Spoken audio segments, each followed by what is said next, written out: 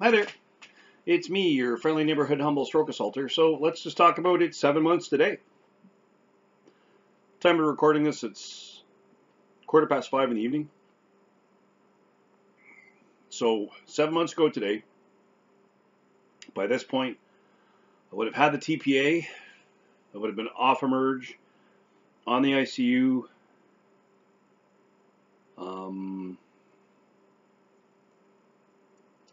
probably still had Mary, my day nurse at this point, waiting for shift change to get Mackie, my night nurse. Uh, and still, at this point, seven months ago today, scared relatively shitless. Just absolutely just buggered. Yeah, not a good time. But let's talk about the last seven months.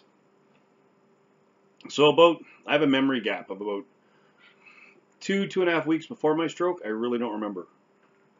Um, unless it was something that I posted on Facebook, uh, or it was something I, you know, had someone remind me of, I still really don't have a direct memory of it.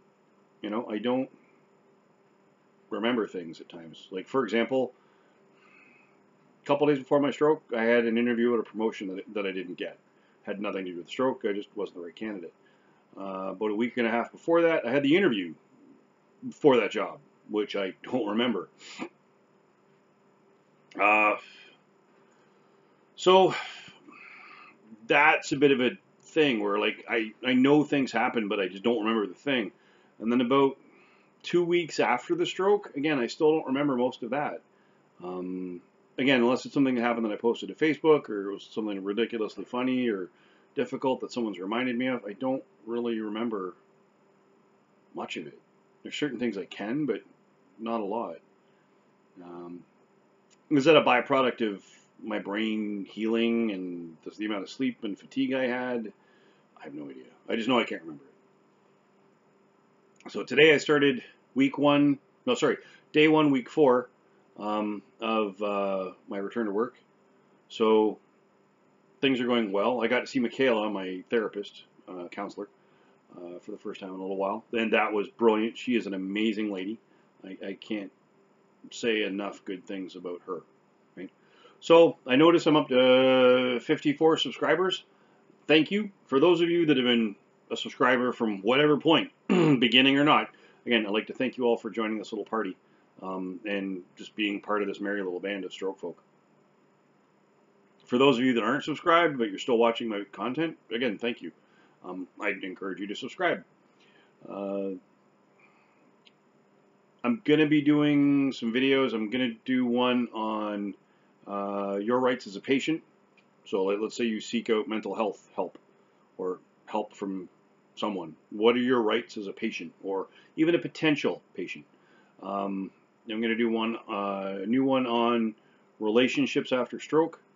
Um, I'm going to do a couple others, right? I'm working on some content. I'm still learning how to edit. That still is difficult for me to figure out.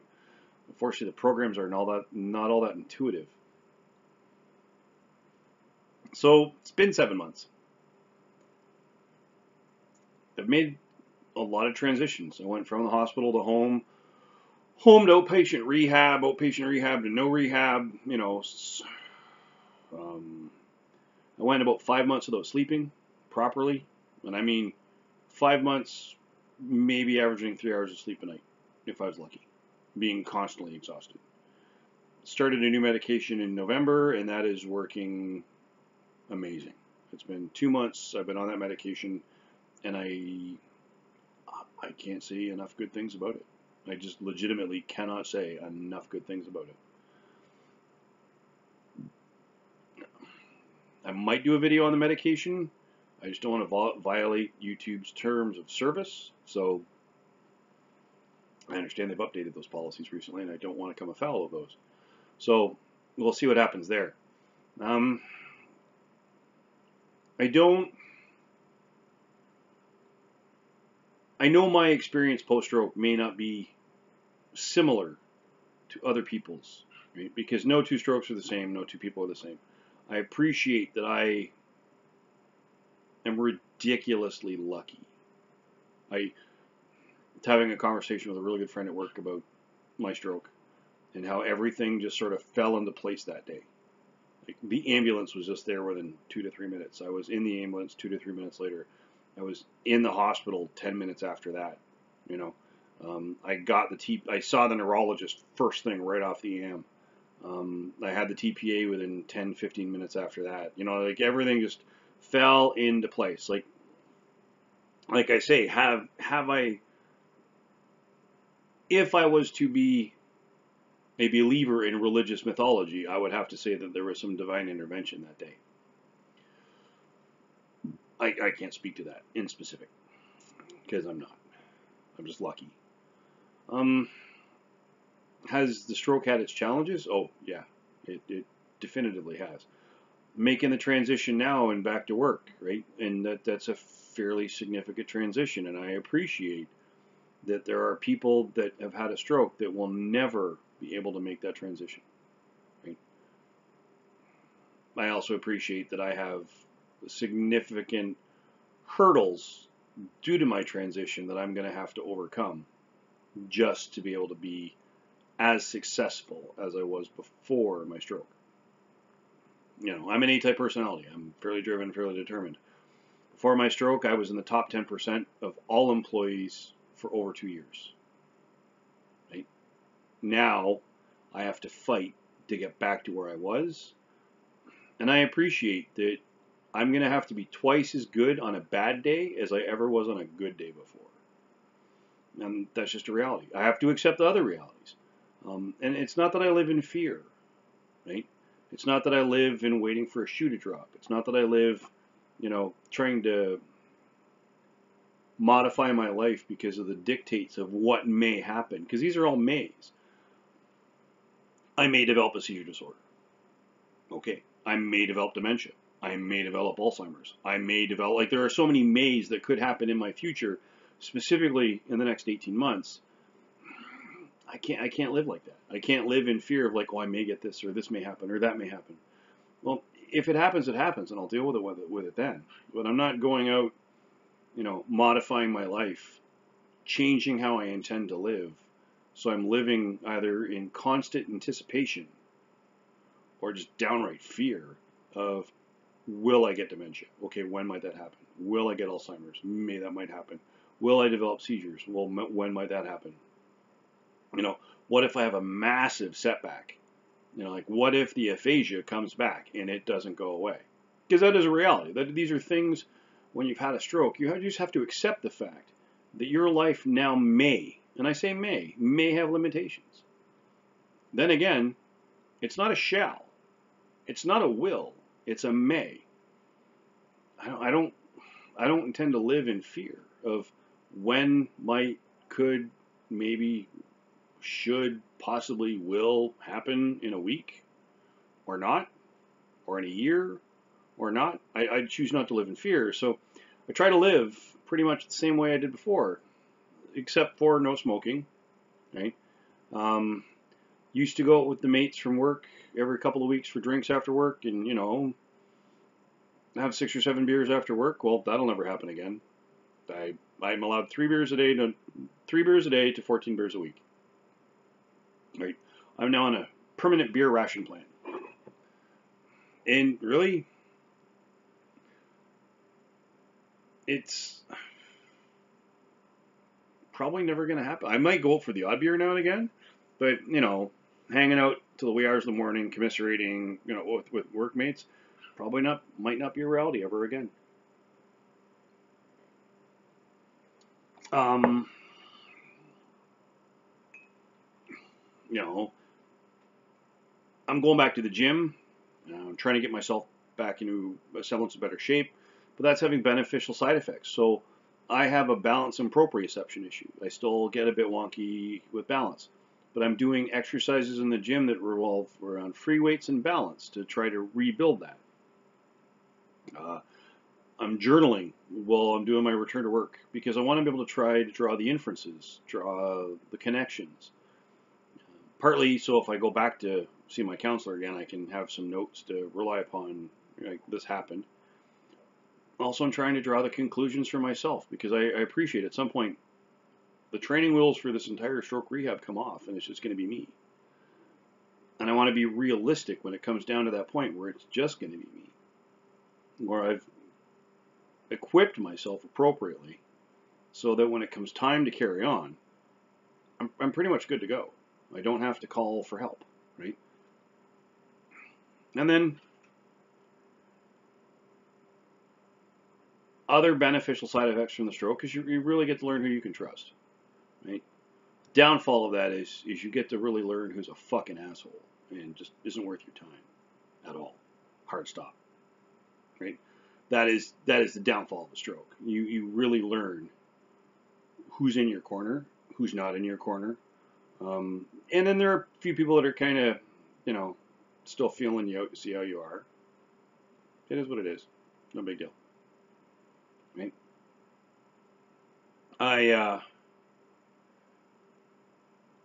I don't lose a lot of sleep about the people that I've had to cut out or that just are useless. Fun fact, you didn't know they were truly useless until you had your stroke. After the stroke, you were able to determine they're fucking useless. So you just get rid of them. They're driftwood. You don't need them. Um, and that's about how that party. That's about how that party will play out. Someone asked me, "Are you sorry you had your stroke?" I was like, "Well, no." And then they asked me, "Why would you say that?" Well, it's like because I don't know any different. Right? I don't know what would have happened on the 21st of June if I didn't have my stroke. So I can't play the paradox game. Right? I can't play the game of, well, this would have happened and that would have happened and this could have happened and that would have happened. Sure, uh, professionally, I missed some opportunities. Right? There's some opportunities I missed. So what? Who's to say they would have been my opportunities to begin with? Right? Who's to say if it was my opportunity, it would have gone the way I would have liked it to? Who's to say if it was my opportunity, that would still be my opportunity today. Okay? So I'm not about to play the paradox game. Like, sure, there are things I missed out on. I accept that. For example, I was supposed to be at the SHOT Show in Las Vegas today. Right? I had planned to be at the SHOT Show in Las Vegas for today. I can't. I can't I'm not. I'm not insurable to travel. So there's no way I'm going from Canada to the U.S just for the SHOT Show. As much fun as that be. Last year, went to the SHOT Show, stayed at the Lux, had a great time, won a bit of money in Vegas, not a lot of money, but 150 bucks. Um, had a great time with the friends I went down with. So, am I sad I missed the SHOT Show this year? Yes. Am I sorry I missed it? No. Because the reality is, me in a room with 7,000 people not a good idea. No. No. Even if I was to go to the SHOT Show right now, there's no guarantee I would enjoy myself. Even if I went to the SHOT Show today, there's no guarantee that I wouldn't, you know, just be mentally ruined after three hours in the SHOT Show and then curled up in my room in the hotel for the next seven hours. Right? So, again, I'm not going to play the shoulda woulda game. That's just not going to happen because, again, I can't count on the things that are not going to happen. Right? So I'm not sorry the stroke happened because that implies a sense of regret. And I'm not about to regret some of the experiences I've had because they've been rather rewarding. And I'm not about to regret things that could have happened but never did and possibly never will. So I can't regret those things because they didn't happen and they may never happen. And if they are going to happen, it's going to be part of my future and not of my past. So I'm not going to get regretful for things that are in my past but never actually happened in my past. So I never got that opportunity, so I'm not going to be sorry about it. Am I am I remorseful that I didn't get to do some of the things that I intended to do during the summer? Um, and then, yeah, am I kind of pissed off that I didn't get to the shot show? Yes. Am I kind of pissed off that I got to spend almost most of my summer in bed? Yes. You know, um, or at appointments, or in rehab, or in confusion, or whatever. So, yeah, I'm kind of pissed off about that. But again, who wouldn't be? Like, had I broke my leg, right? And I had activities planned where I had to be in a cast for you know say three months, and I wasn't allowed to do anything because there was surgery involved and whatnot, yeah, I'd be a bit remorseful, pissed off that I, there's things I didn't get to do. But again, it's a health concern, right? There's just no way I could have conceivably, realistically participated in that event. So, I'm not sorry this stroke happened. I'm, I am, I'm at odds with that statement. I really am. I'm sorry I had a stroke. Yeah, it, it fucking sucks.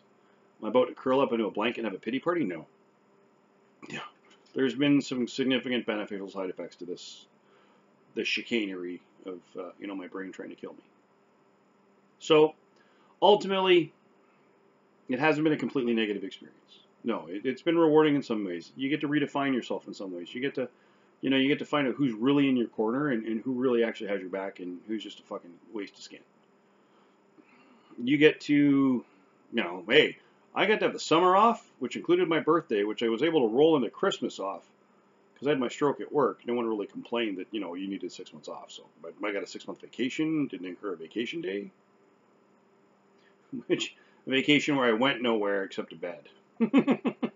Occasionally the beach, um, you know, and, you know, spent a couple nights with friends having dinner and whatnot.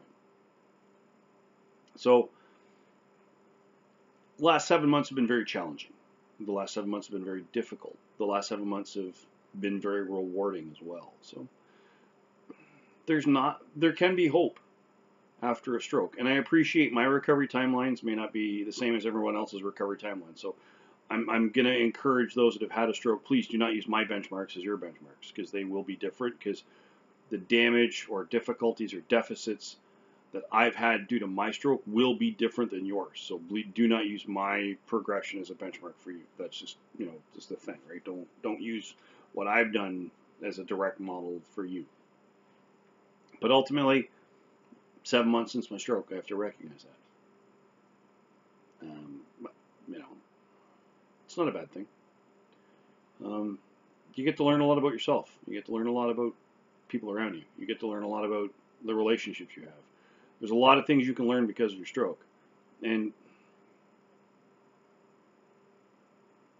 it's not all bad. It really is. It's, it's not all bad. Um, on that note, if you happen to see either in yourself or someone around you, someone's going through, you know, the post-stroke recovery, either it's yourself or a family member, please recommend the channel to them. Uh, like, share, subscribe. If there's a, chan- a, a topic you want to see me cover, please uh, email me at strokeassaulter at gmail.com. I say again, you can email me at strokeassaulter at gmail.com. And as long as it's germane to the channel and it's sort of core concepts, I'll happily do a, a thing on that. And if you happen to see either in yourself or someone around you the signs or symptoms of a stroke, uh, that being someone immediately appears befuddled or confused, uh, they're having vision problems, they are having facial droop, they are unable to raise both arms equally effectively or at all. They can't smile equally effectively or at all. They're having speech issues, slurred, stuttering speech, inappropriate word usage for situation or context. They're unable to stand unaided. You know, they can't bear their own body weight.